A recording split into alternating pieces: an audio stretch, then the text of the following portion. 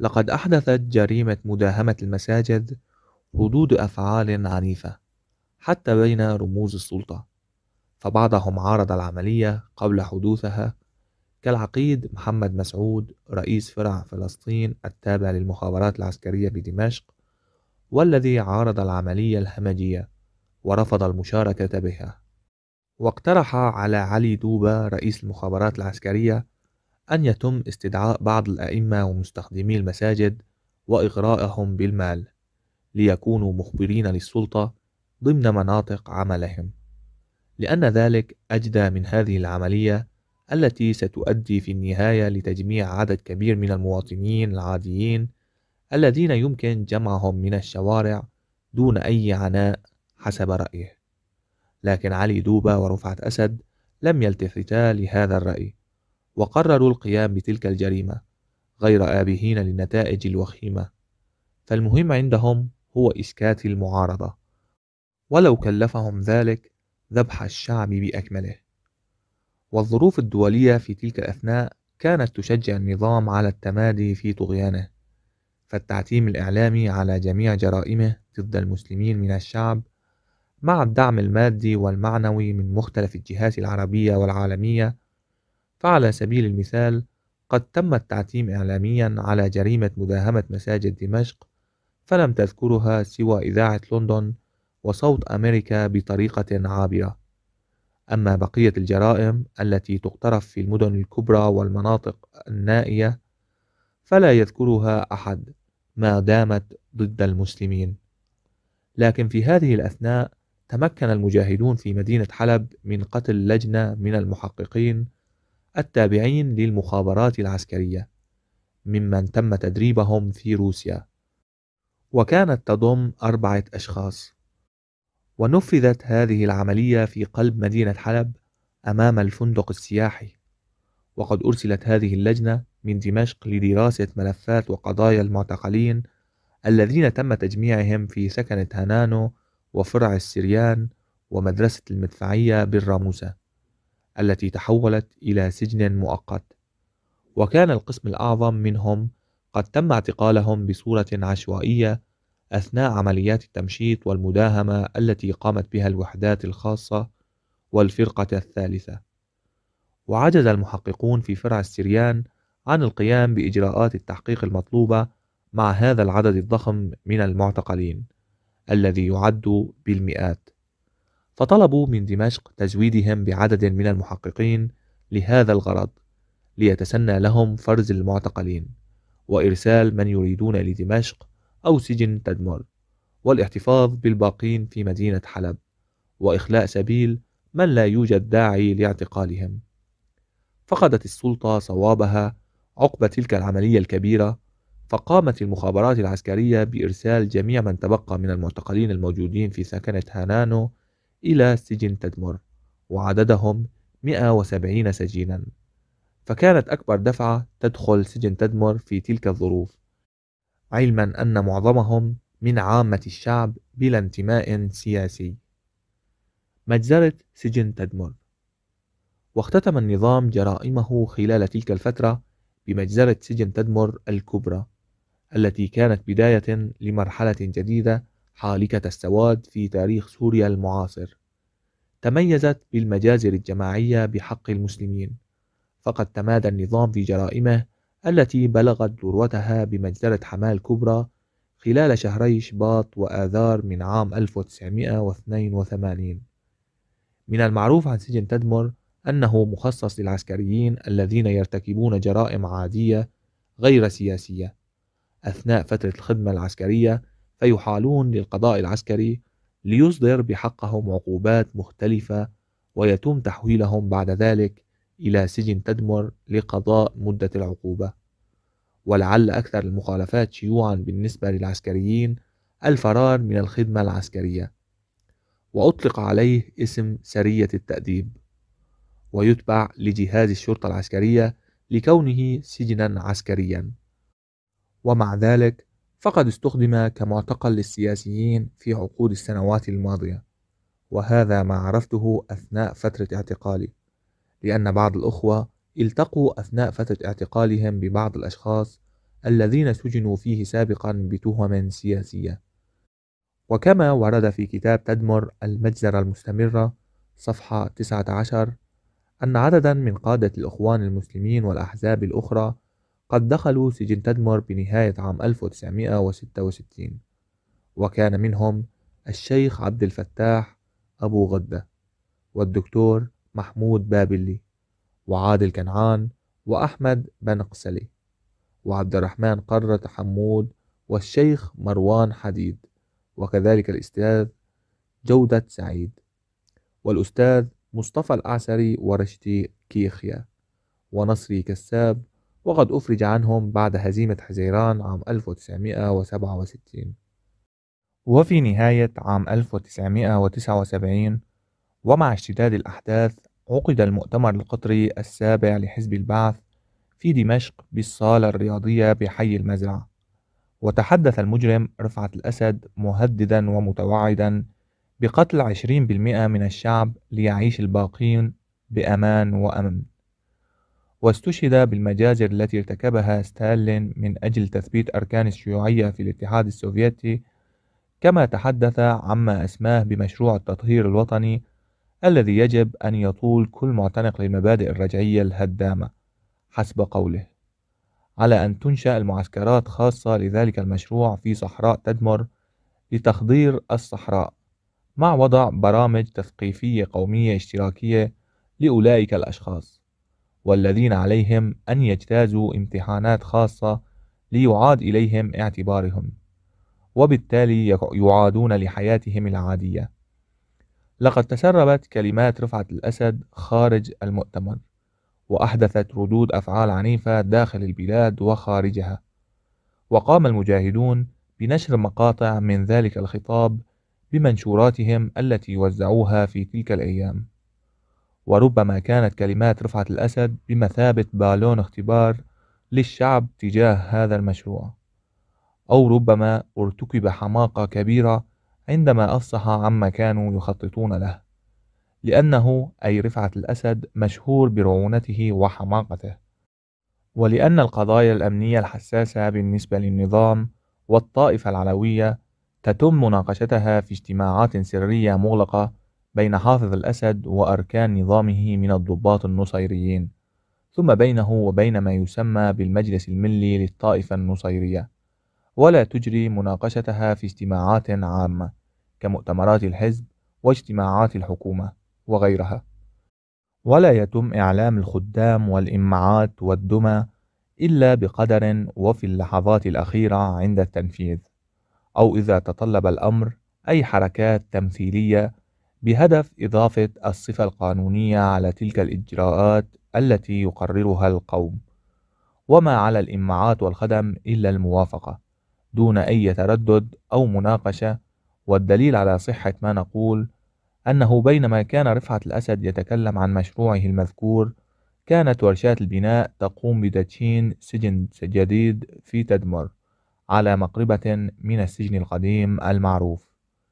تصاعدت الأحداث كثيرا في الشهور الأولى من عام 1980 مما أفقدت السلطة صوابها ورشدها وجاءت عملية تهريب الأخوة المعتقلين من سجن كفرسوسة يوم 25 5 1980 لتخرج ذلك المشروع المخطط له إلى حيز التنفيذ. وقبل أن يكتمل بناء سجن تدمر الجديد وكان القديم مكتظا بالسجناء القضائيين صدر مرسوم جمهوري بالعفو عن سجناء تدمر العسكريين وفيه تم تفريغ السجن القديم من جميع نزلائه. وأما الذين حكموا بعد صدور المرسوم المذكور فقد نقلوا للخدمة في السجن القديم ريثما يتم استكمال السجن الجديد. عندئذ صدرت الأوامر لفروع المخابرات بتحويل المعتقلين الإسلاميين بعد الانتهاء التحقيق منهم إلى سجن تدمر. وقد وصلت ثلاث مجموعات من المعتقلين قبل المجزرة وهم. المجموعة الأولى وتضم المعتقلين الذين جمعوا جمعوا في سجن القلعة في دمشق وهم من معتقلي المخابرات العامة وشعبة الأمن السياسي وكانوا قد اعتقلوا عام 1979 و 1980 من جميع المحافظات. وأفرجت السلطة في بداية عام 1980 عن عدد كبير ممن اعتقلوا عام 1979 وهم من أعضاء التنظيم السياسي أو ممن ليس لهم أي علاقة بالتنظيم أصلا. وأما الذين لهم علاقة بالتنظيم المسلح والذين لم يمضي على اعتقالهم مدة محددة فلم يفرج عنهم لأن التحقيق لما ينتهي بعد. وعدد أفراد هذه المجموعة حسب أكثر الروايات يتراوح بين الخمسمائة والستمائة شخص. كان بينهم الشيخ محمد خير زيتوني ورياض جعمور اللذان نقلا إلى دمشق لأجل التحقيق قبل المجزرة بعدة أيام. ثم أعيدا بعدها. وتشكل هذه المجموعة القسم الأكبر من السجناء الذين كانوا في السجن أثناء المجزرة. أما المجموعة الثانية من المعتقلين فكان مصدرها فرع المخابرات العسكرية في حمص فقد باشر المجرم غازي كنعان بإرسال المعتقلين لسجن تدمر منذ وقت مبكرة وتحديدا منذ شهر أيار عام 1980 لأن سجن البولوني الموجود في سكنة خالد بن الوليد بحمص لم يعد يتسع للمعتقلين الذين زاد عددهم كما اشتدت حملة الاعتقالات بعد استشهاد المرحوم عبد المعين السيد وإخوانه في بداية شهر حزيران من ذلك العام. عندها فقد المجرم غازي كنعان صوابه. وراح يعتقل الناس عشوائيا ويرسلهم إلى تدمر. ويمكننا تقدير عدد معتقلي هذه المجموعة بحوالي 200 شخص لأن فرع حمص كان يرسل دفعة واحدة أسبوعيا. يتراوح عدد أفرادها بين 20 و 30 شخصا. وبذلك يمكننا أن نقدر عدد الذين أرسلوا خلال هذه المدة حوالي شهر بمئة معتقل. يضاف إلى ذلك المعتقلون الذين تم جمعهم سابقا وهم ممن أخلي سبيلهم في بداية عام 1980 وكان غازي كنعان قد أعاد اعتقالهم وعددهم حوالي 80 شخص. ولا أعرف بالضبط عدد الذين تمكن غازي كنعان من إعادة اعتقالهم إذ أن قسما منهم قد نجح بالفرار من البلاد ويضاف إلى هذه المجموعة أيضا الأشخاص الذين تمكن من كشفهم واعتقالهم أول مرة. ويمكن تقدير عدد هذه المجموعة بمئة معتقل وبالتالي يصبح مجموع معتقلي مدينة حمص 200 معتقل. أما المجموعة الثالثة فكانت من معتقلي دير الزور عندما اندلعت المظاهرات في شهر آذار من عام 1980 وشارك طلاب المدارس في تلك المظاهرات.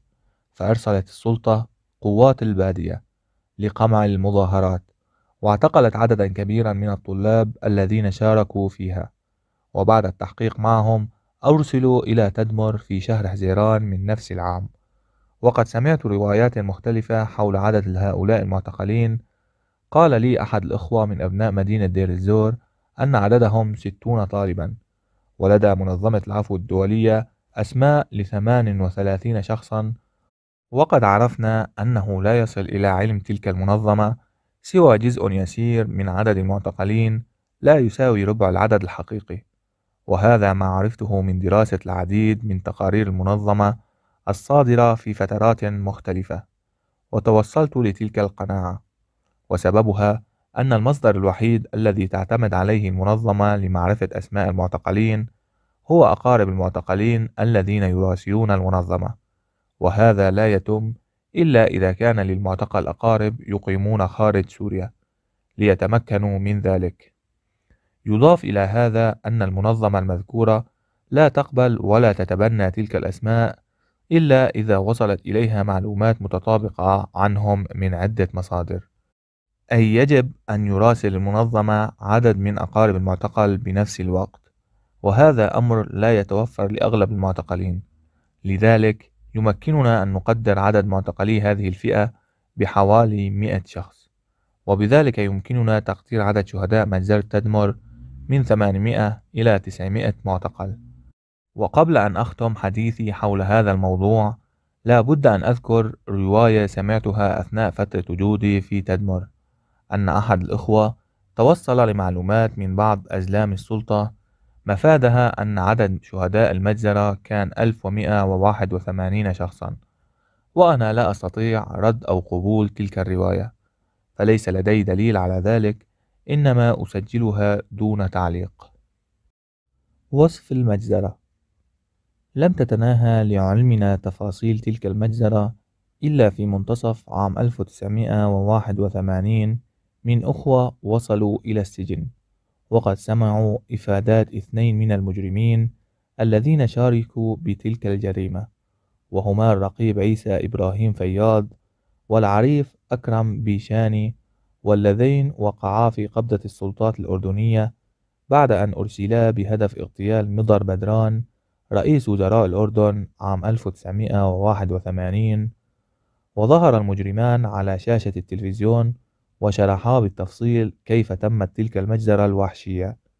وسجلت تلك المقابلة على أشرطة فيديو ونشرت خلاصة عنها في كتاب تدمر المجزرة المستمرة الذي استقينا منه تفصيلات هذه المجزرة. وإليكم كما نشرت. في تمام الساعة الثالثة والنصف من صباح يوم 27 ستة 1980 دعيت مجموعتان من سرايا الدفاع التي يقودها الزعيم رفعت الأسد. للاجتماع باللباس الميداني الكامل المجموعة الأولى من اللواء أربعين والذي يقوده الرائد معين ناصيف زوج تماضر بنت رفعت الأسد. والمجموعة الثانية من اللواء مئة وثمانية وثلاثين والذي يقوده المقدم علي ديب. وكل مجموعة يزيد عددها عن مئة عنصر. اجتمعت المجموعة الأولى في سينما اللواء نفسه وألقى فيها المجرم معين ناصيف كلمة. مفادها راح تقوموا بهجوم على أكبر وكر للإخوان المسلمين وهو سجن تدمر. مين ما بده يقاتل؟ لم يرفع أحد منهم يده أو صوته تعبيرا عن عدم رضاه بالقتال. في مطار المزة التقت المجموعتان. كانت في انتظارهم عشرة طائرات هليكوبتر. كل طائرة تتسع لأربع وعشرين عنصرا. كان قائد العملية المقدم سليمان مصطفى وهو قائد أركان اللواء 138 ومن الضباط المشاركين الملازم أول ياسر باكير والملازم أول منير درويش والملازم أول رئيف عبد الله أقلعت طائرات الهليكوبتر الساعة الخامسة صباحا ووصلت مطار تدمر الساعة السادسة. وعقد اجتماع لضباط العملية تم فيه توزيع المهمات وتقسيم المجموعات. ثم أعطي العناصر استراحة لمدة ثلاث أرباع الساعة. بعد ذلك دعي عناصر سرايا الدفاع للاجتماع وتم تقسيمهم لثلاث مجموعات. المجموعة الأولى ثمانين عنصرا.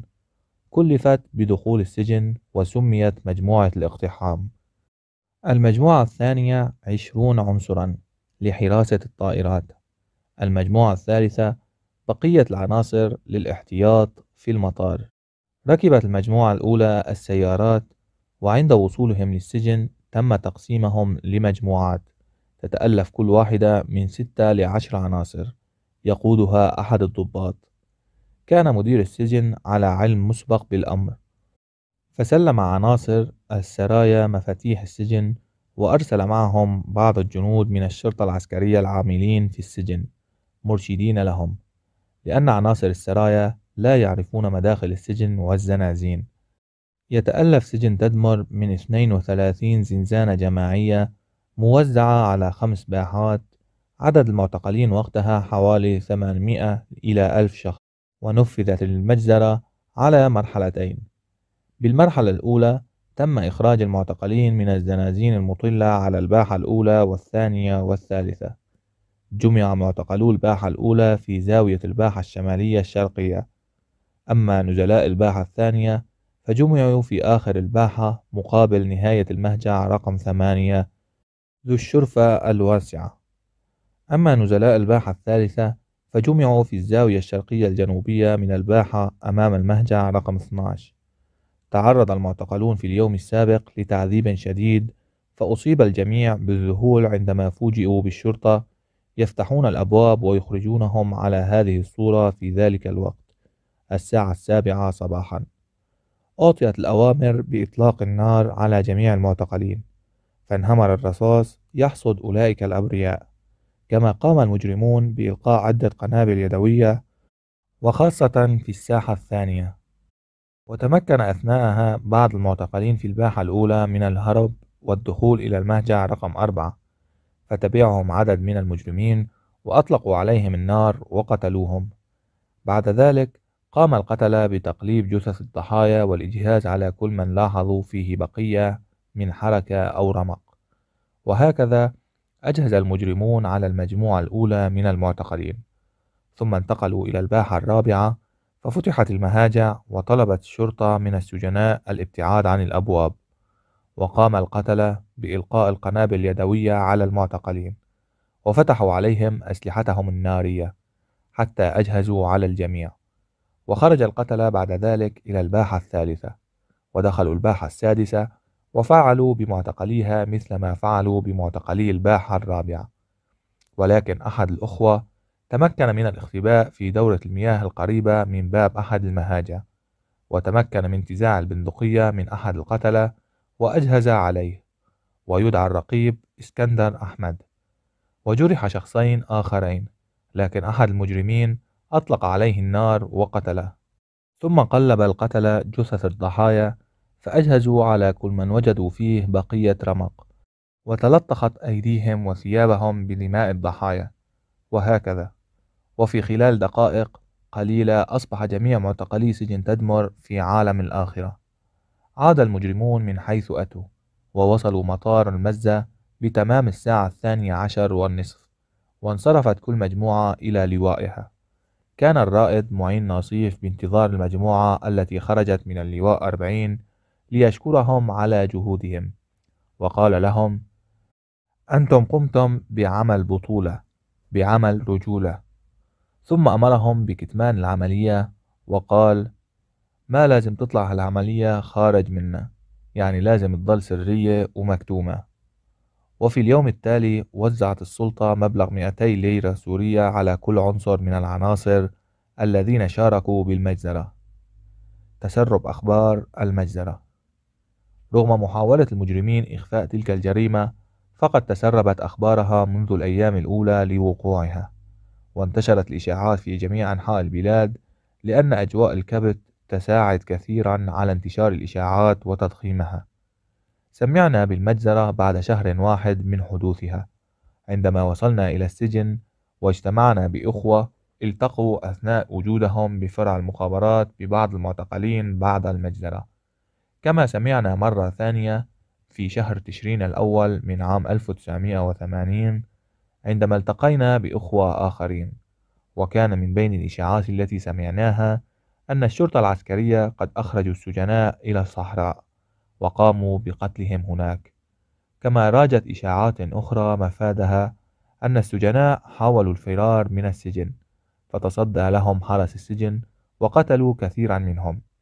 وإشاعة ثالثة تقول أن السجناء قد تمردوا داخل السجن فأدى ذلك لتدخل الجيش وبالتالي قتل عدد كبير من السجناء. بالتأكيد إن سكان مدينة تدمر قد علموا بتلك المجزرة لأن باستطاعة الناس الذين يسكنون قرب السجن أن يعلموا بما يجري داخل الأسوار وهذا ما عرفناه أثناء وجودنا هناك.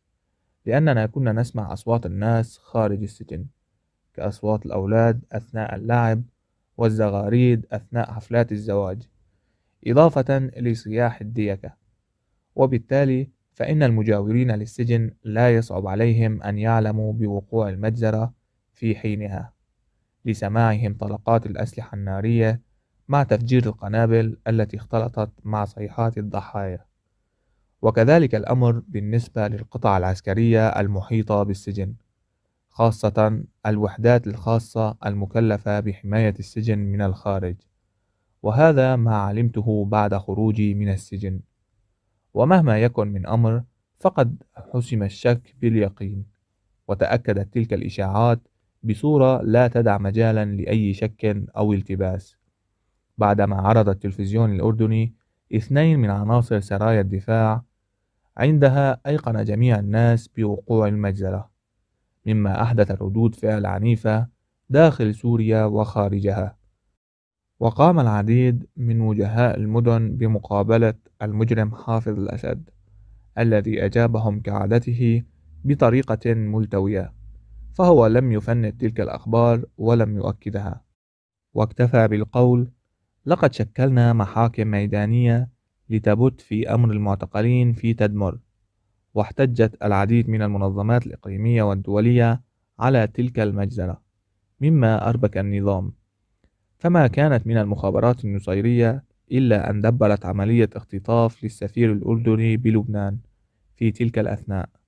ولكن أرغم النظام النصيري على إطلاق سراحة نتيجة لردود الأفعال والضغوط التي تعرض لها. وكان لتسريب أخبار المجزرة أسوأ الأمر على ذوي المعتقلين الذين سيطر عليهم القلق على مصير أبنائهم وخاصة الذين اعتقلوا قبل المجزرة. وهذا ما مكن أزلام النظام من ابتزاز المزيد من الأموال من أولئك المساكين. إذ اتبع المجرمون طريقة في غاية الخبث والخسة لأنهم لم يفاتحوا أحد من ذوي المعتقلين بمصير أبنائهم حتى ساعة كتابة هذه السطور نهاية عام 1991 وما زال أولئك المساكين يعيشون بقلق دائم مشوب ببعض الأمل وينتقلون من مدينة لأخرى ويدفعون الرشاوي لأزلام النظام الذين يمنونهم بالوعود المعسولة. ولا حول ولا قوة إلا بالله العظيم. آثار المجزرة. بعد المجزرة قام جهاز السجن بإزالة آثارها فنقلت جثث الضحايا بالسيارات العسكرية وتم دفنهم بصحراء تدمر بمقابر جماعية. ويقال بأنهم دفنوا بعض الأشخاص الذين ما زالوا على قيد الحياة. كما قاموا بإزالة آثار الدماء من باحات وزنازين السجن وباشرت ورشات الدهان والبناء بترميم الجدران وطلائها. وعاد سجن تدمر لاستقبال المعتقلين بعد أقل من ثلاثة أسابيع. وعندما دخلنا السجن بشهر تموز كانت ورشات الدهان والترميم تواصل عملها. ورغم جميع محاولات طمس آثار المجزرة فقد بقيت آثارها ظاهرة على بعض الجدران وهذه أمثلة على ذلك. ففي المهجع التاسع عشر من الباحة الرابعة بقيت بعض بقع الدم على الجدران.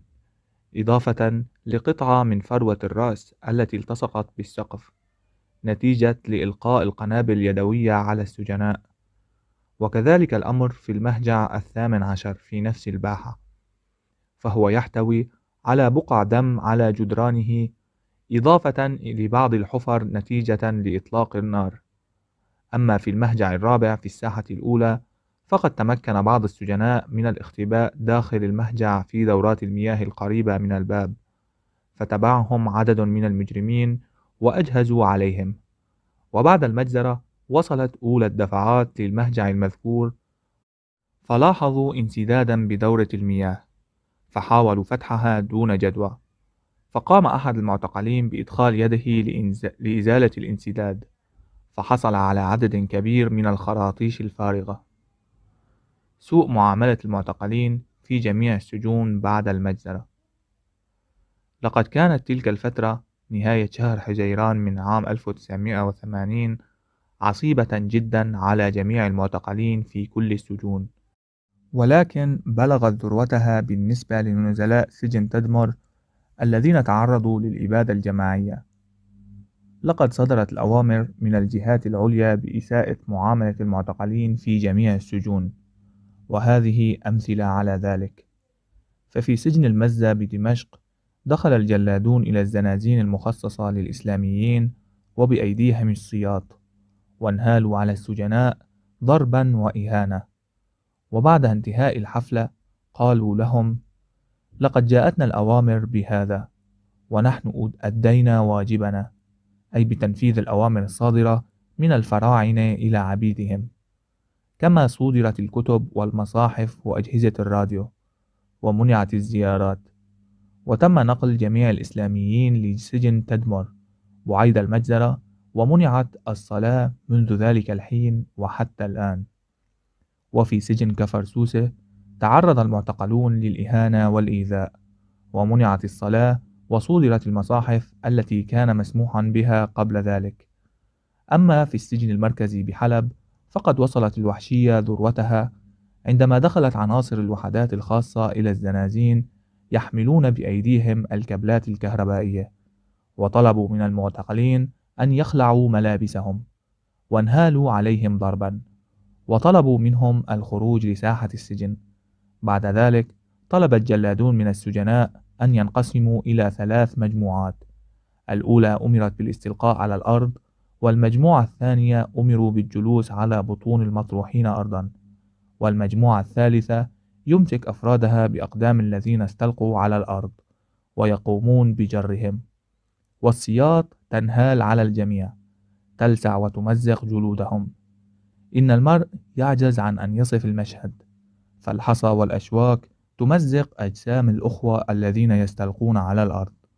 أما البقية فالسياط تلهب أجسامهم. وبعد أن ابتلأت الساحة ببقع الدم طلب المجرمون من الجميع أن يزحفوا على الأرض والسياط تلسعهم بل تشوههم والجلادون يدوسون عليهم بنعالهم حتى تعب الأوباش من تلك المجزرة الهمجية. عند ذلك طلبوا من المعتقلين الدخول لزنازينهم وقد امتلأت أجسامهم بالجروح والقروح. وبقيت آثار تلك الحفلة الرهيبة على أجسام البعض عدة سنوات. تشهد على همجية أولئك الأوباش وساديتهم. وصف سجن تدمر. لا بد لنا قبل الحديث عن إرسالنا لسجن تدمر وكيف قضينا تلك الأيام من لحظة دخولنا وحتى ساعة خروجنا. من تقديم لمحة موجزة عنه نصف فيها ذلك السجن الرهيب ليتمكن القارئ من تصوره واستيعاب الأحداث والأماكن التي وقعت فيها تلك الأحداث. دخلنا سجن تدمر في شهر تموز من عام 1980 وخرجنا منه بعد سنوات عجاف مريرة مرارة الموت والعلقم. وكنا مغمضي الأعين عند دخولنا وخروجنا. لذلك لم نرى شيئا من معالم السجن الخارجية. أما معالمه الداخلية فإنني أعلمها بكل تفاصيلها لأننا تنقلنا خلال فترة وجودنا هناك بين مختلف الباحات. كما قمنا بأعمال السخرة كتوزيع الطعام والماء والتنظيفات خلال فترة طويلة من وجودنا فيه. مما أتاح لنا معرفة معالم السجن الداخلية بكل تفاصيلها. المواصفات يتألف سجن تدمر العسكري من حوالي أربعين زنزانة جماعية موزعة على ست باحات مفصولة عن بعضها البعض بفتحات ضيقة نسبيا. لا تسمح بمرور أكثر من شخص واحد وهذه الفتحات يمكن إغلاقها لأنها تحوي أبوابا حديدية وأقفالا وذلك ليتم فصل الباحات عن بعضها البعض. وفتحة الباب محاطة بإطار حديدي سميك ذا حواف حادة نسبيا. وأما الجهة السفلى من الباب فتحتوي على حافة إسمنتية ترتفع عن الأرض 30 إلى 40 سنتيمتر لعلقلة اندفاع السجناء إلى الباحة المجاورة عند حدوث أي تمرد بالسجن.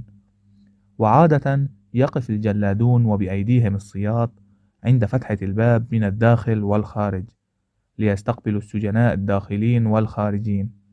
ويتجمع السجناء أمام تلك الأبواب بسبب هذه العوائق. وكثيرا ما يحصل عند الحمام والحلاقة هذا الاختناق والتجمع البشري للسجناء. فتنهال السياط متسارعة لإيقاع أكبر وأكثر كم من العذاب. تبدأ هذه الباحات بباحة الإدارة وتسمى باحة القلم وتقع عند مدخل السجن من الجهة الشرقية وهي تضم عددا من الأشجار والمكاتب وتحوي في قسمها الداخلي المهجع رقم واحد الذي يضم عددا من السجناء القضائيين أي السجناء غير السياسيين من العسكريين. وهؤلاء يقومون بأعمال الخدمة كتوزيع الطعام والتنظيفات العامة والحلاقة للمساجين ويسمون بالبلدية لأنهم يقومون بأعمال البلدية. الباحة الأولى وتأتي بعد باحة القلم ويطلق عليها السجناء اسم باحة التعذيب أو باحة الاستقبال ويفصلها عن باحة الإدارة باب حديدي بمغلاق. وتضم أربعة مهاجع مرقمة بالتسلسل اثنين ثلاثة أربعة بالإضافة إلى المهجع المزدوج رقم خمسة وستة. وأرضها مفروشة بالإسفلت المتآكل لتعاقب المساجين والزمان إذ تحتوي على الكثير من الحفر. وتجري فيها حفلات الاستقبال البشعة للقادمين الجدد كما أنها استعملت للحلاقة في الأشهر الأولى بعد المجزرة الدموية. وقد ملئ المهجعان أربعة وخمسة وستة المزدوج من الأيام الأولى التي تلت المجزرة البشعة. وأما المهجعان اثنان وثلاثة فقد ملئا في عام 1981 ويعتقد بعض الأخوة أن المهجعين المذكورين كانا يضمان سجناء سياسيين غير إسلاميين لأن معاملتهم كانت أفضل نسبيا من معاملة بقية السجناء الإسلاميين. وأما المهجع رقم أربعة فيقال أنه كان في الماضي صالة للسينما أو للمسرح لأن تصميمه الداخلي يدل على هذا الغرض. أما المهجع المزدوج رقم خمسة وستة فإنه كبير ولكنه مظلم ورطب. وقد انتشر مرض السل بين نزلائه عام 1982 الباحة الثانية وتسمى أيضا بباحة الحمام وهي تتصل بالباحة الأولى بباب حديدي وهي تضم أربعة مهاجع هي المهجع رقم ثمانية ويليه الحمام الذي يتألف من غرفتين. كما تحتوي الباحة على صنبور ماء قريب من الحمامات. ثم المهجع رقم تسعة وعشرة وحداش وهذه الباحة على شكل زاوية قائمة. والمهجع الأخير رقم 11 تفصله عن بقية المهاجع باحة صغيرة لها باب مستقل. وقد استعملت هذه الباحة للحلاقة أيضا والتعذيب في صيف عام 1980 لذلك فإن الأخوة نزلاء الباحتين الأولى والثانية كانوا يعيشون في حالة دائمة من الخوف والذعر بسبب سماعهم صراخ المعذبين. خاصة نزلاء المهجع رقم أربعة الذي تطل نوافذه الخلفية على باحة الحمام. واستخدم المهجع رقم 11 في, بداية في البداية لتجميع الأخوات المعتقلات من حرائر المسلمين واستبدل في منتصف عام 1981 بغرفة المستوصف التي تقع عند مدخل الباحة السابعة. وفي شهر تموز من عام 1981 قام جهاز السجن بفرز المعتقلين واستخدم المهجع رقم ثمانية لتجميع المعتقلين الذين حكموا بالبراءة وكان عددهم حوالي مئة شخص. وكانت المهاجع الأخرى تضم عددا كبيرا من الأبرياء ولكنهم اكتفوا بفرز السجناء القدماء والذين دخلوا السجن بعد المجزرة الدموية مباشرة. وعومل هؤلاء في البداية بصورة أقل فظاظة من بقية السجناء نزلاء السنازين الأخرى. ولكنها ما برحت أن ساءت المعاملة فيما بعد ليستوي الجميع في الآلام. وأما المهجع رقم تسعة فاستخدم للمعتقلين الذين حكموا في سجن المزة أحكاما تتراوح ما بين العامين والخمسة واستخدم المهجع رقم عشرة لتجميع السجناء ممن حكموا أحكاما أطول من خمسة عشر عاما وما فوق. أما المهجع رقم 11 فقد استخدم لتجميع من حكم عليهم بالسجن المؤبد. وقام جهاز السجن في بداية عام 1982 في شهر شباط بنقل نزلاء هذه الباحة إلى الباحة السابعة ما عدا نزلاء المهجع 11 الذين أبقوا في مكانهم وسقف الباحة تم تشبيكه بالأسلاك الشائكة احتياطا. الباحة الثالثة وهي كبيرة ذات أرض إسفلتية تتصل بالباحة الأولى بباب حديدي صغير كما تتصل بالجهة المقابلة بالباحة الرابعة بباب آخر. وتتصل بالباحة السادسة بفتحة واسعة تسمح بمرور السيارات منها. وتضم المهجع رقم 12 الذي يعتبر امتدادا للمهجع الثامن من الباحة الثانية. كما تضم أيضا المهجع رقم 13 على نفس الصف. وأما الجهة الأخرى فتحتوي على المهاجع ذوي الأرقام 14 15 و 16 من مجموعة الزنازين المنفردة. ويطلق عليها الجلادون اسم السيلونات.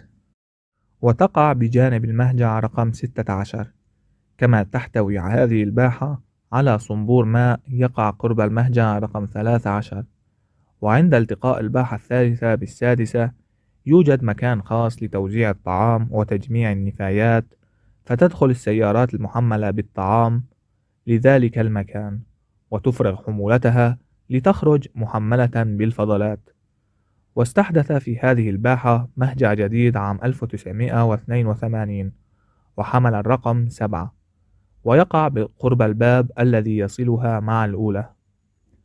الباحة الرابعة وتتألف من المهاجع ذات الأرقام بالتسلسل من 17 حتى 24 ومساحتها ضيقة نسبيا رغم كثرة عدد مهاجعها وأرضها إسمنتية مربعة الشكل.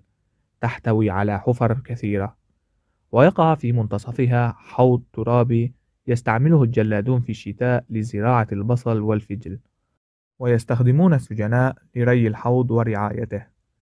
أما مهاجعها فمختلفة المساحة منها الكبيرة مثل الرقم 18 و 19 ومنها الصغيرة كالمهجع رقم 20 و 21 وجدران هذه المهاجع منخفضة لأنها من القسم الذي بني قديما.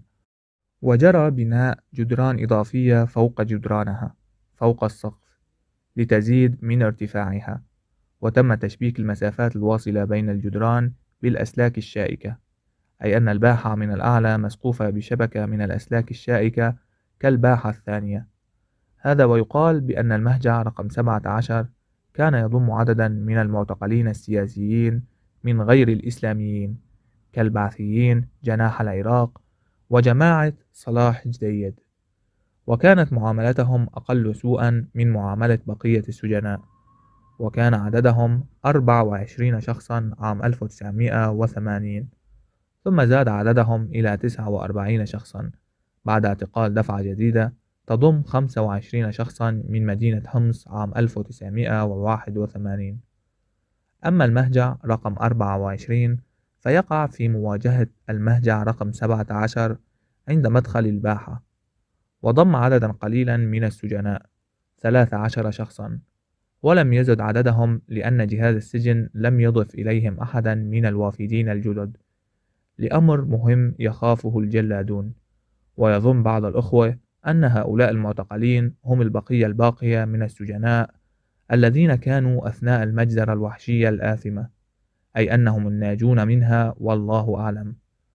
وباختلاطهم بالسجناء الآخرين تشيع وتنتشر أخبار المذبحة الهمجية وأسماء وأحداث تلك الجريمة القذرة. إن المهجع رقم 23 مظلم ورطب لذلك انتشر فيه مرض السل بعام 1982 الباحة الخامسة. عند الالتقاء الباحة الثالثة بالباحة السادسة يوجد باب يؤدي إلى الداخل بدهليز ينتهي بباب حديدي محصن كتب عليه الباحة الخامسة وتقع إلى جانبها غرفة المحرس. إذ يتجمع الجلادون هناك دائما ولم نستطع أن نعرف شيئا عن هذه الباحة طوال فترة وجودنا بالسجن وبقيت سرا غامضا ولغزا مبهما ويقول بعض الإخوة أنها تضم عددا من الزنازين المنفردة والتي كانت تستعمل للسجناء المتهمين بالتجسس أو تستخدم للسجناء العسكريين الذين يرتكبون الكثير من المخالفات أو جرائم خطيرة أخرى أثناء فترة اعتقالهم. والله أعلم. الباحة السادسة. وهي أكبر ساحات السجن على الإطلاق. كما أنها اكتسبت أهمية خاصة كالأولى حيث كانت تجري فيها عمليات الإعدام وهي تحتوي على مهاجع قديمة وغرفة الورشة وهي المهجع رقم 25 و26 و27 و28 والمهجع 31 أما القسم الآخر فقد بني حديثا ويضم المهاجع المرقمة بالتسلسل 32 33 34 وبني مهجع جديد أيضا قرب المهجع 34 في عام 1982 فلم تعد السجون تتسع. لقد استعمل المهجعان 31 و 32 لتجميع الأحداث القاصرين دون سن الثامن عشر. عندما قام جهاز السجن بفرزهم عن بقية المعتقلين في نهاية عام 1980 وكان عددهم كبيرا. حوالي الأربعمائة شخص. وهكذا جمعت الطغاة حتى الأطفال داخل السجون لتخرج جيل الخنوع والركوع الأسدي للصهاينة ولكن هيهات. باحة المستوصف وهي منفصلة عن الباحتين السادسة والسابعة. وتقع بينهما وتضم إلى جهتها اليسرى غرفة المستوصف. والذي استخدم لتجميع الأخوات المسلمات المعتقلات منذ عام 1981 بعد أن تم نقلهم من المهجع رقم 11 وكان عددهم بضع عشر امرأة وكان بينهم طبيبة من دمشق اسمها فادية دهان وهي متخرجة عام 1979 اعتقلت مع جميع أفراد أسرتها والدها واثنين من إخوتها أحدهم عمره 13 سنة وزوجة أبيها. بعد أن قتلت المخابرات اثنين من إخوتها هما الشهيدان فواز وبشار وأخلي سبيلها مع والدها وخالتها وأحد إخواتها في نهاية عام 1981 أما شقيقها الآخر فقد استشهد في منتصف عام 1981 على أعواد المشانق في دياجير الظلم والقهر والحقد الطائفي اللئيم. أما الجهة اليسرى لهذه الباحة فتضم باحة صغيرة تحتوي على المهجعين رقم 29 و 30 الباحة السابعة. تم استحداثها عام 1981 وهي تضم أربع مهاجع كبيرة هي المرقومة بالتسلسل 35 36 37 38 واستخدم المهجع 35 في بداية عام 1982 لتجميع المعتقلين نزلاء المهجع رقم 8 في الباحة الثانية والذين جرى فرزهم في شهر تموز من عام 1981 وهم ممن حكمت عليهم المحاكم الميدانية بالبراءة. وأما المهجعان رقم 36 و 37 فاستعملا للمعتقلين الأحداث نزلاء المهجعين رقم 31 و 32 وأما المهجع رقم 38 فاستخدم لتجميع المعتقلين نزلاء المهجعين رقم 9 و 10 وهم ممن حكموا في سجن المزة لفترات تتراوح ما بين عامين وخمس عشر عاما وكان عددهم حوالي 200 معتقل بينهم عدد كبير من ضباط الجيش. كان من بينهم الرائد الطيار عثمان الأصفر مواليد اللاذقية عام 1949 أسر في حرب رمضان عام 1973 واشتهر باسم الصاروخ الخامس عندما سئل أثناء المقابلة الإذاعية في الأسر عن عدد الصواريخ التي تحملها طائرته ميك 21 فأجابهم إنها تحمل خمسة صواريخ. فتعجب المحقق اليهودي من إجابته ولم يفهم مغزاها فقال له نحن نعلم أنها تحمل أربع صواريخ فقط فأجابهم بأنها أربعة صواريخ فعلا ولكنه هو ذاته الصاروخ الخامس في الطائرة.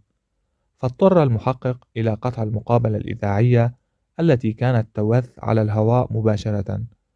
وهكذا انتقم العملاء من كل الشرفاء وعلى كل المستويات إرضاء لأسيادهم في تل أبيب وواشنطن. لقد اعتقل هذا الأخ عام 75 أي بعد عام واحد فقط من عودته من الأسر. ومكث عامين ونصف العام في سجن المزة بتهمة انتمائه للبعث العراقي وأعيد اعتقاله بنفس التهمة عام 1980 وأدخل سجن المزة وحكم عليه بالسجن 15 عاما.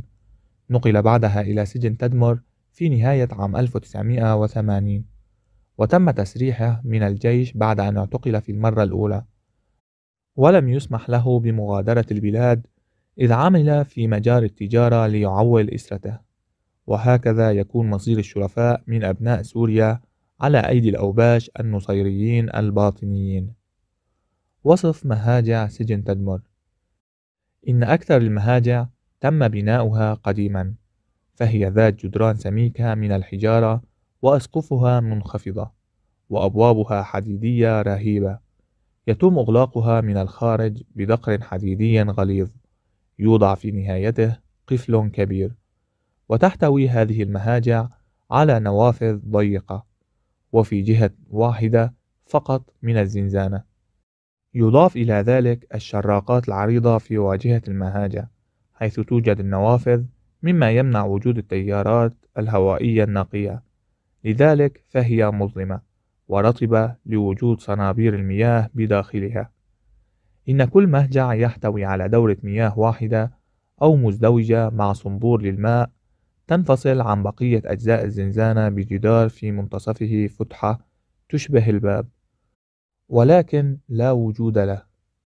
وقد لا تنفصل دورة المياه عن المهجع بأية حاجز إنما تكون في إحدى الزوايا. محاطة بجدران يصل ارتفاعها إلى متر ونصف المتر فقط فتكون شبه مكشوفة الداخل. لأن الجدران لا تصل للسقف فتستر من في الداخل ولها باب وضعت عليه بطانية بالية لتستر من خلفها. ولذلك فإن رائحة البول والغائط تخرج للمهجع مباشرة وتبقى فيه بسبب سوء التهوية. وعند انقطاع الماء تكون الأوضاع لا تطاق. وهذا ينطبق على أكثر المهاجع القديمة ويضاف إلى ذلك الرطوبة المنبعثة من صنبور الماء نتيجة عمليات الجلي والغسيل المستمرة.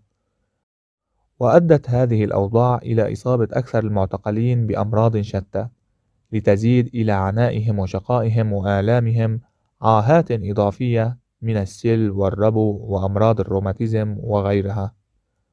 الإنارة والتهوية يحتوي كل مهجع على مصباحين كهربائيين أو أكثر.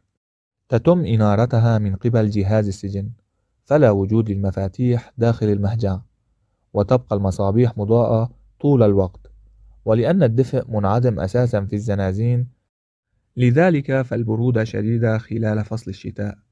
كما أن أكثر الزنازين ترشح الماء من أسقفها عند هطول الأمطار في فصل الشتاء.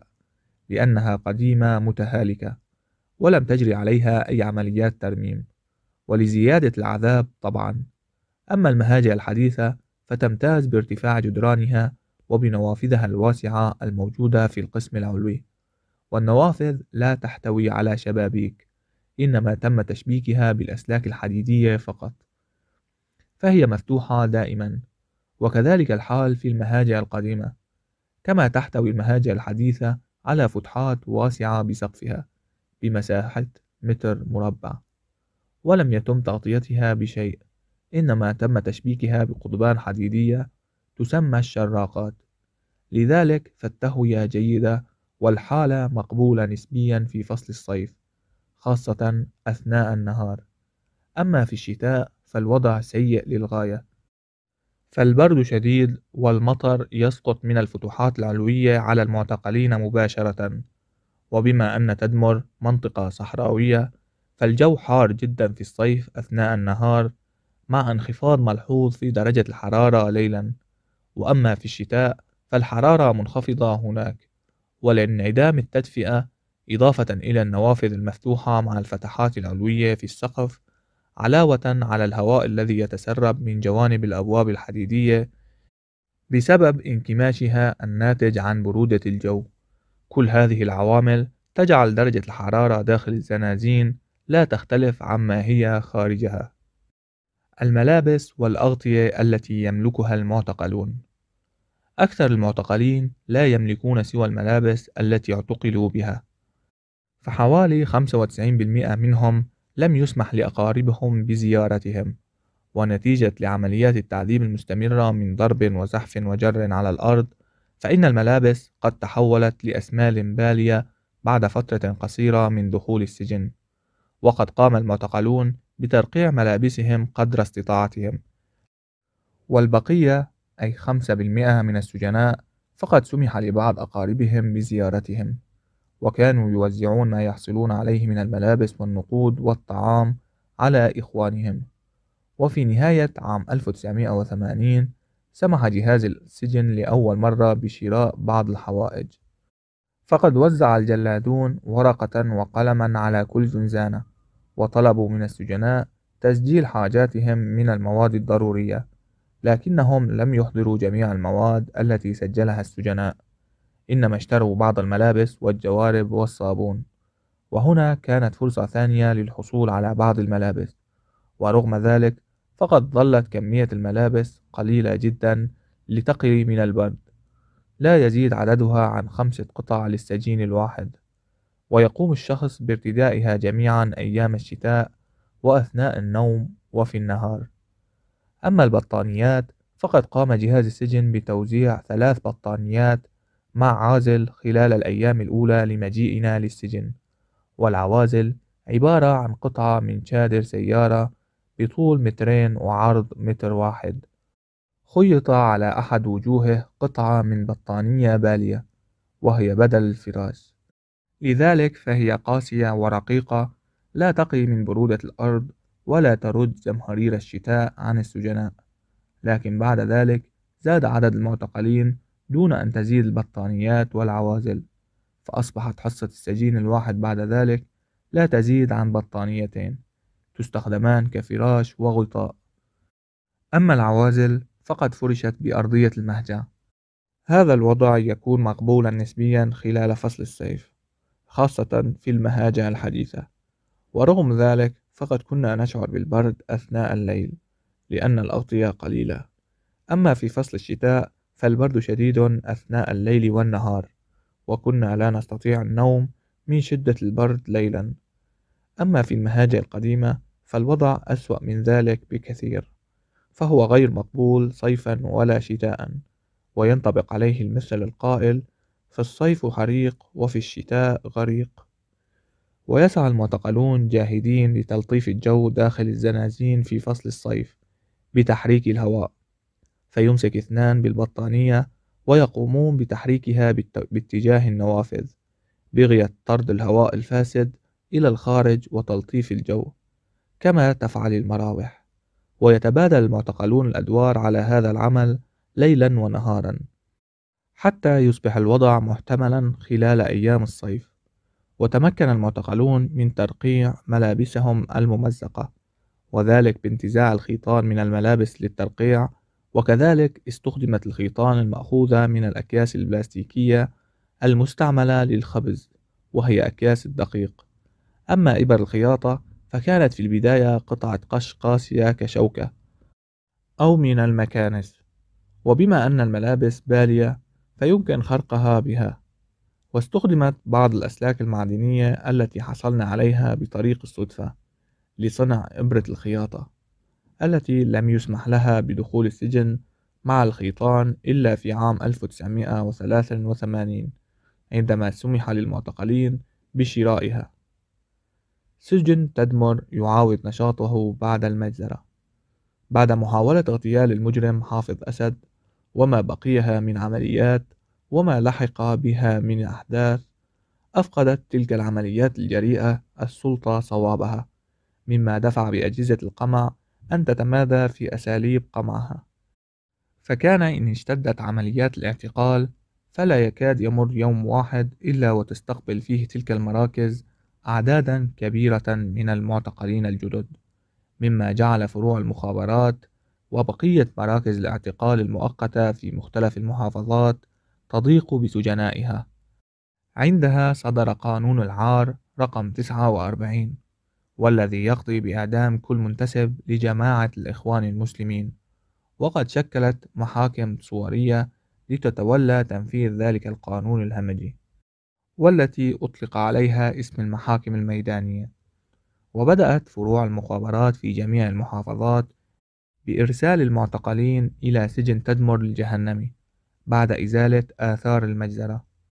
إن العادة المتبعة في هذا المجال أن تقوم المخابرات العسكرية بإرسال معتقليها إلى تدمر مباشرة. ما عدا بعض الاستثناءات حيث يرسلون المعتقلين إلى دمشق ومن ثم إلى تدمر. أما المخابرات العامة أمن الدولة فجميع فروعها في مختلف المحافظات ترسل المعتقلين إلى سجن كفرسوسة بدمشق ليتم إعادة ضبط الاعترافات. ومن هناك يرسل السجناء إلى تدمر. وأما الشعب السياسية فإنها تحول معتقليها إلى دمشق ومن هناك يتم تحويلهم إلى سجن تدمر أو المزر رهيبين وقد كان عدد معتقلي هذه الشعبة قليلا مقارنة بشعب المخابرات الأخرى وما أنشئ من أجهزة أخطبوطية همجية أخرى. لقد كنت واحدا من الذين قدر عليهم أن يدخلوا ذلك السجن المخيف بعد فترة قصيرة فقط من المجزرة الرهيبة. فكيف كان ذلك؟ الخروج من فرع المخابرات هناك حل رمضان شهر الرحمة والبركة فاستبشر المعتقلون بقدومه خيرا وتفاءلنا باقتراب الفرج كنا نظن أن السلطة قد تقوم بإخلاء سبيل المعتقلين الأبرياء الذين لم يثبت التحقيق أي تهمة تستحق الذكر عليهم وهؤلاء يمثلون السواد الأعظم من المعتقلين أو الإفراج عن بعضهم. وكان أكثرنا يحسن الظن في أولئك الوحوش الخسيسة والجرذان المذعورة. لكن سرعان ما خابت الظنون وتبددت الأحلام وحدث ما لم يكن بالحسبان. وعرفنا بعد الشقة بين ما بين الآدمية والوحشية. حضر مدير السجن مع بعض الجلادين ذات ليلة حاملا معه قائمة فيها بعض الأسماء. فظن أكثرنا في بداية الأمر أنه إخلاء سبيل إلا أن الوقت كان متأخرا حوالي الساعة الحادي عشر ليلا. كنا نصلي صلاة التراويح وكان اسمي موجودا في تلك القائمة المشؤومة. وطلب منا الجلاوزة أن نجمع أغراضنا وأن نهيئ أنفسنا ثم أخرجنا من الزنازين. وتم تجميعنا في إحدى الصالات. وجاء الجلادون بالقيود الحديدية والسلاسل والغمامات. هنالك أصبنا بالانقباض. وسيطر علينا الخوف وتبددت الآمال. وعرفنا أنهم يريدون نقلنا إلى سجن آخر. أو ربما إلى إحدى محاكم التفتيش. كما أنهم يرددون بتلك الأثناء لأن اللغط حولها قد زاد في تلك الأيام المشؤومة من تاريخ بلدنا المنكوب. وقام الجلادون بوضع الغمامات على أعيننا ووضعت القيود الحديدية في الأيدي وربطت بالسلاسل حتى صار الجميع كتلة واحدة. فكل واحد منا مقيد الأيدي ومربوطا بالسلاسل إلى الذي يليه وهكذا.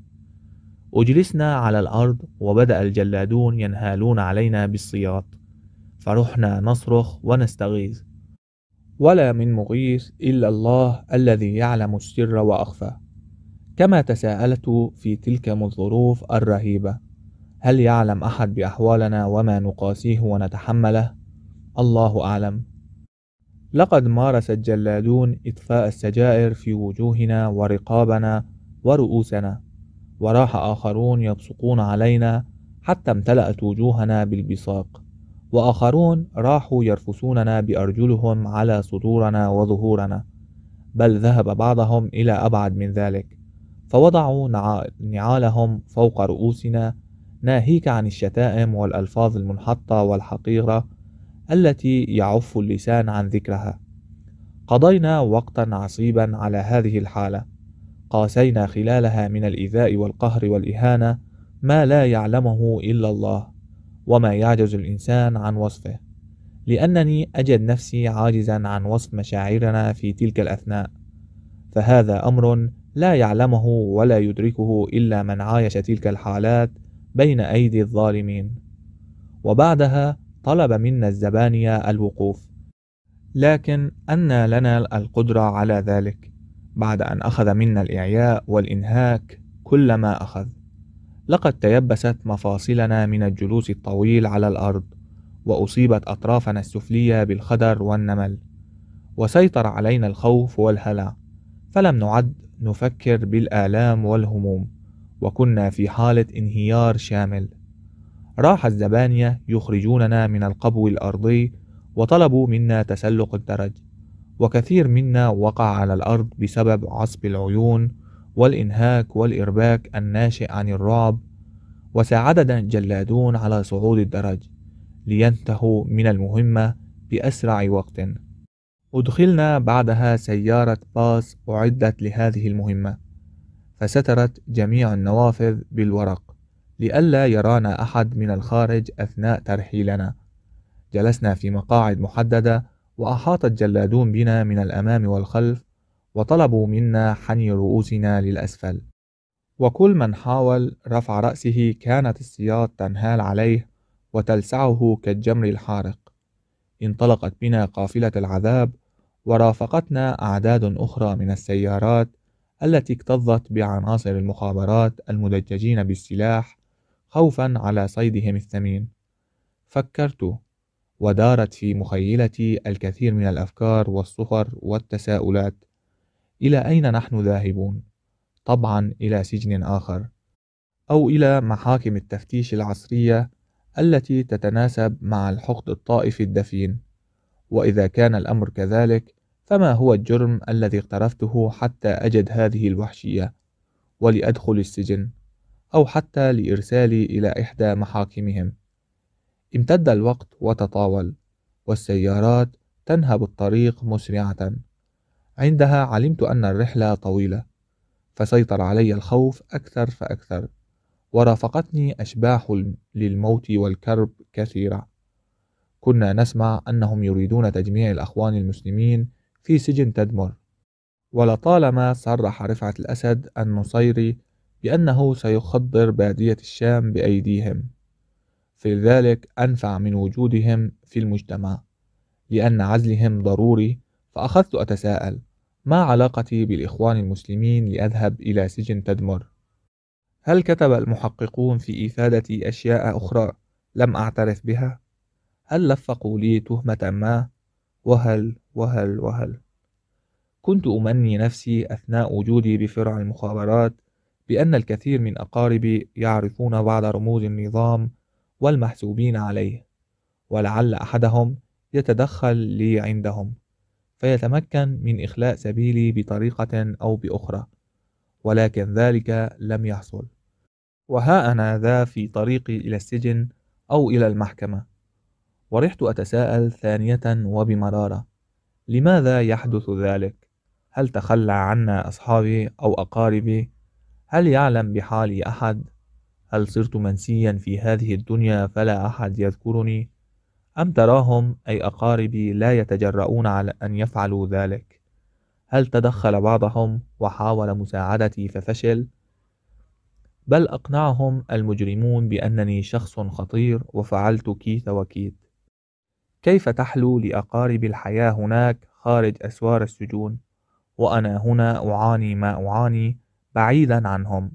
هل كذا كيف كذا لماذا كذا وأخيرا قلت في نفسي لقد انقطعت بنا كل أسباب الأرض ولم يبقى لنا إلا حبل السماء نعتصم به وكفى بالله وكيلا وكفى بالله حسيبا. وتوكل على الحي الذي لا يموت وسبح بحمده وكفى به بذنوب عباده خبيرا. حسبنا الله ونعم الوكيل لا حول ولا قوة إلا بالله العلي العظيم. إنا لله وإنا إليه راجعون. وبالطبع إن ضعف الإنسان يظهر عند الشدائد والنوائب حيث تسيطر عليه وساوس الشيطان واليأس والقنوط. وربما ظن الإنسان بربه الظنون كما ورد في القرآن الكريم وإذا زاغت الأبصار وبلغت القلوب الحناجر وتظنون بالله الظنون. ومهما يكن من أمر فإن تلك المحنة كانت فوق طاقة التحمل البشري. ربنا لا تحملنا ما لا طاقة لنا به. لقد سيطر علي الخوف وغمرني شعور بالرعب. لكني أسلمت أمري لله ورحت أقرأ ما أحفظه من آيات القرآن الكريم والأذكار والأدعية. سائلا المولى سبحانه وتعالى السلام والمغفرة. مستمدا منه العون والتأييد. وكم كنت أدعو الله بهذا الدعاء. اللهم يا خفي الألطاف نجنا مما نخاف. اللهم إني لا أسألك رد القضاء بل أسألك اللطف فيه. اللهم الطف بنا فيما جرت به المقادير. نعم لقد سيطر علينا الخوف لأن كل ما حولنا كان مجهولا ومخيفا. وكنا نتعامل مع طلاسم ومع معيات ومجاهيل كباطنية ذلك النظام العفن المتفسخ. وهذه حالتنا طوال فترة سجننا. وبعد ساعات مريرة من الإرهاق في السفر تعرضنا خلالها لشتى صنوف الإهانة والقهر والإيذاء. وصلنا إلى سجن تدمر دون أن نرى شيئا من الطريق أو من معالم ذلك السجن المخيف من الخارج.